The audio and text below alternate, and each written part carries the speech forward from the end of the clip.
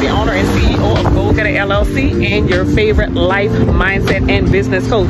I just want to come to you all really quickly just to say thank you. Thank you so much for downloading the Streams Over Stress course. Why am I happy that you downloaded this course? Because this course has been designed to help you to identify and implement more streams of revenue in your business so that you are having more fun, more finances, more freedom, and more flexibility because you desire it and you deserve it.